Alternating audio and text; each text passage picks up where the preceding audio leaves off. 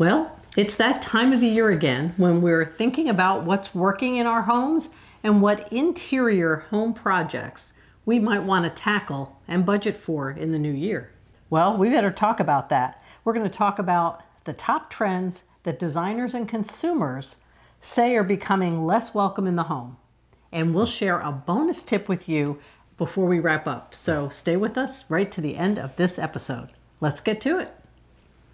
Welcome back. I'm Terri with MVP Realty. I'm Rich with MVP Realty. And we're happy to talk to you today about some trends that designers and consumers are calling out that might be trends we're over. Right. Things that are on their way out as we end 2022 and start to think about heading into a new year. And uh, this is based on an article that was published um, in a blog post at the National Association of Realtors magazine. Mm-hmm. So I'll leave the link to the blog post below because there are additional trends uh, that are cited in the article. But we picked the top three that we thought might be relevant for conversation, plus this bonus tip that is going to uh, put a smile on my face, I think, when we get to that one. Um, but why don't we tackle the top three tips? Sure. And the first one is the tip that we are over it with vessel bowl sinks. Oh, yeah. I mean, I was never into it. I, I never, those never really struck me as something that I would want to put into my house. It just looked like it was going to be too difficult, and I can only see, you know, trying to take something off the, the counter and hitting the sink and you know yeah well, you raised some of the interesting concerns well why did they come up in the first place it was seen as an opportunity to take an otherwise outdated bathroom mm. and just give it a modern touch. Maybe with a square modern sink right. or that, you know, kind of bowl lifted up over the counter. It was different, that's for sure. It was definitely yeah. different, yeah. eye catching, and it probably did spiff up a really old, outdated right. kind of bathroom countertop However, it came with the kinds of issues that you just brought up. Right. I thought it looked better than its uh, than its practicality. So that's yeah. probably the headline for that one. And so, as people have had them in their homes, they're saying they are difficult to clean. Mm-hmm. Water and dirt just sort of accumulate at the base of the sink at the interface with the bathroom countertop. Right. Well, that's okay. not really appealing. No. And then what happens when somebody tries to kind of come across the counter moving something, right? they're gonna, smack right into. They're the going to smack, and they're either going to they're either going to break the, the bowl or they're going to break what they had in their hands. So, right. Yeah. So there's either cracks in the sink and or other damage. Right. And so it's just one of those things that the designers and the consumers who were surveyed said, right. give it the hook. We're, it's on its way out. We're over those. Yep. We're over it. So that is tip number one. We're over vessel bowl sinks. Mm. But that's not the only thing that no, we're of course not. No. no. So here's tip number two of we're over it. Tile countertops. You know, I can't believe that we're talking about those in, in 2022.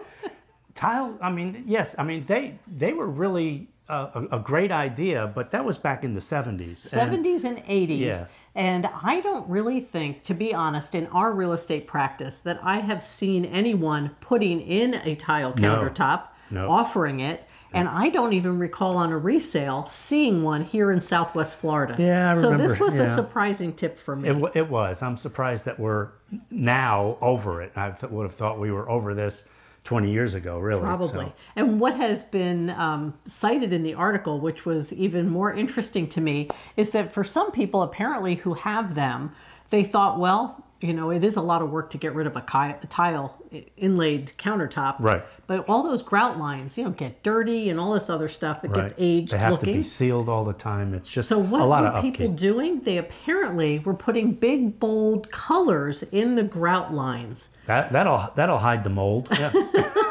not not necessarily an approach that I would have thought of. So if you are thinking about keeping your tile countertop Ah, it's a sad thing to say, but we're over it. Yeah. It's a trend that's really past its prime. It is. As you said, I can't believe it's on its way out in 2022. I thought it was packed and gone a long, long time long ago. Long time ago, yep. You know? Now, the other one is a little more relevant to modern times. Uh, and this was sort of the number one trend that we're over it from this article. I'm a little surprised about this one. They called it the cloffice. Well, yes. Do you know what a cloffice is? Well, I didn't until you told me. So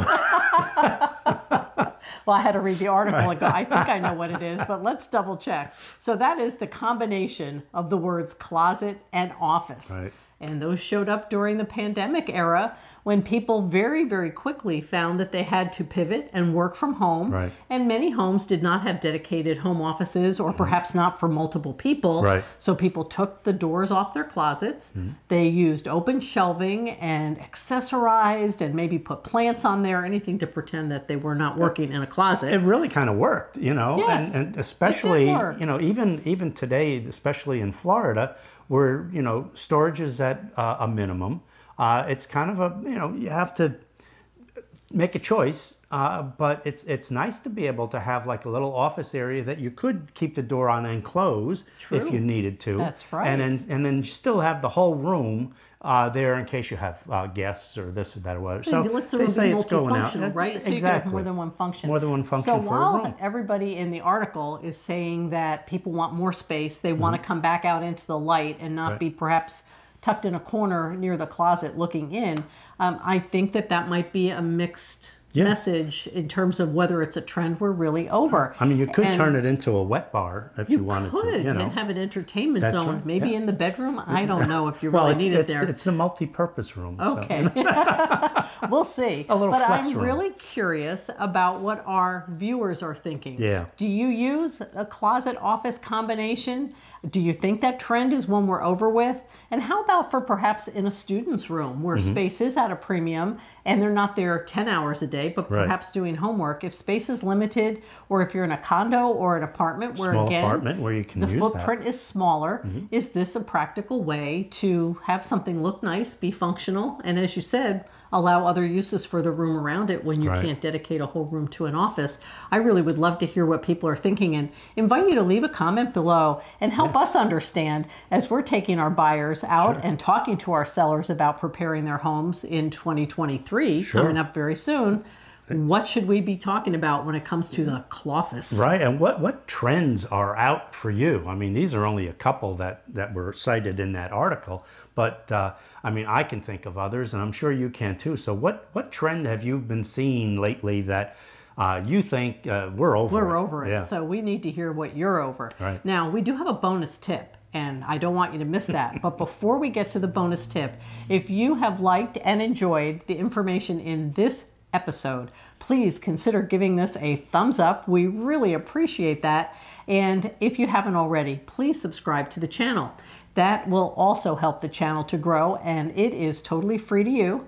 It also is helpful if you subscribe to turn on notifications. And Right. why would somebody want to do that? Well, then they would know when we have posted a new video uh, about Southwest Florida. Right. So any new episode to the channel is one that you can keep track of before everybody else if you just turn on notifications. You'll know when we post them.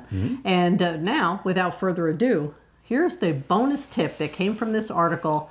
And man, it blew me away. I had no idea what I, I- was yeah, missing. I, I- wasn't in know. on the trend when the trend was in. I, mean, think that's my problem. Yeah, there's. I mean, I I see now that I'm really going to have to do some redecorating. You think, well, Yeah. no, don't redecorate to this because this trend is over with. And it is cowhide prints. Yeah. So the article talks a little bit about having accessories, whether it's rugs or draping items over chairs that had either black and white or brown and white, irregular patterns that really were based on the look of cowhide. Yeah, is the trend going to a different animal hide at this point? You It think? did or- not say. No. Oh, it didn't say.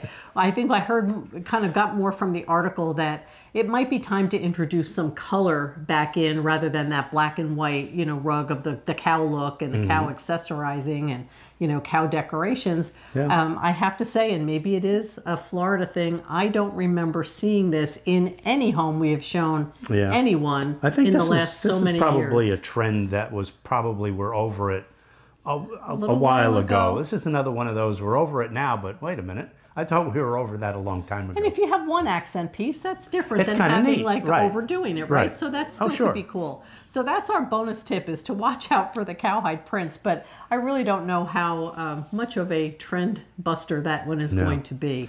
We'll see. We'll see. And you know, this is the time of year, like we were saying, we get these these these uh, trends of what's the new year and what the old year is. A lot of times, people go out uh, over the holidays and they go to uh, friends' houses Ah, and things yes. like that, and maybe they've they've redecorated or they bought a new house, and it gives a lot of people a lot of ideas of What what, could we do? do back are, at home? Are we gonna are we gonna remodel that kitchen finally, uh, or, Or the uh, bath with that vessel bowl sink. Yeah.